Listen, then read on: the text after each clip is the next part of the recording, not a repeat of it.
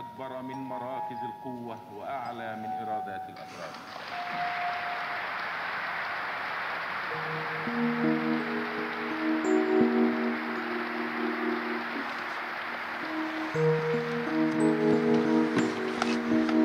عدلي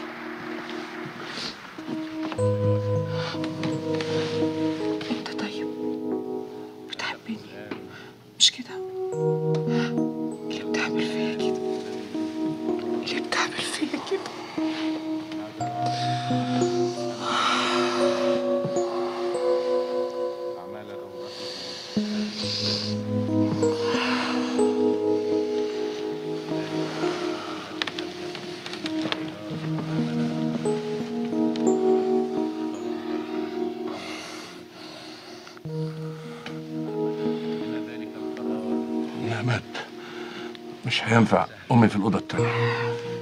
أمك في سبع نومة دلوقتي. أصل أصل أصل مش مش هينفع صدقيني. وبعدين إحنا صيام مش هينفع. صيام؟ صيام إيه تاني؟ أنت مش كنت صايم من كام يوم وفطرت؟ هو طول السنة صيام. حوالي 200 يوم في السنة. ده نظام الكنيسة الأرثوذكسية. الكنيسة الأم اصل أنتوا البروتستانت ما عندكوش لا صيام ولا مسبح ولا اعتراف ولا أي حاجة. إحنا إيه وانتوا إيه بس؟ ده حرام. حرام يا عدلي مش ممكن ربنا يكون عايز كده ابدا.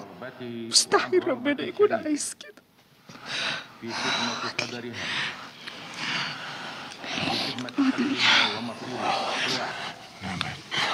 لقد جاءت على الأمة العربية نعمات نعمات إحنا كبرنا قوي على الحاجات دي يا نعمات وبعدين إحنا خلفنا خلاص ربنا يخلينا نعيم ونعيم. كبرنا ده إيه يا أخويا؟ اتكلم عن نفسك بس. وبعدين مال ده ومال الخلف. هو ربنا عمل الحاجات دي عشان الخلفة النسل يعني؟ عشان البشرية ما تنقرضش. يعني إيه؟ خلاص إحنا ساهمنا بدورنا عشان البشرية بتاعتك ما تنقرضش. نتلم بقى كده ونقعد جنب الحيط نستنى الموت مش كده؟ أنا أعرف ناس متجوزين عايشين حياة البتولية يعني زي الإخوات وطول الوقت صلاة وصوم وترنيم وبيحبوا بعض جدا وعايشين في منتهى السعادة. بتضحك على نفسك ولا عليا؟ نفسي أعرف بس مين اللي دخل الأفكار دي في دماغك. بذمتك أنت مقتنع باللي بتقوله ده؟ تناقضه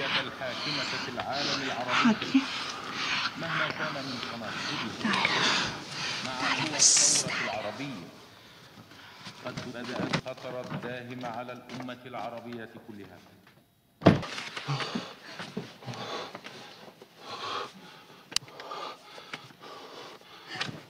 استغفر الله العظيم.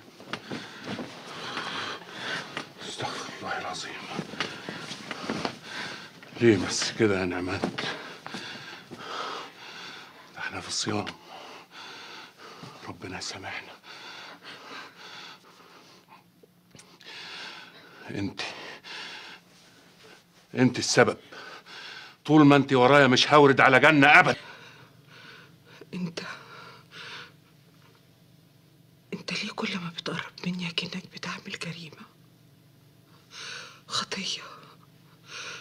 تقفل الأوضة وتضلمها كحل كأننا بنسرق ومرعوبين من عقاب ربنا.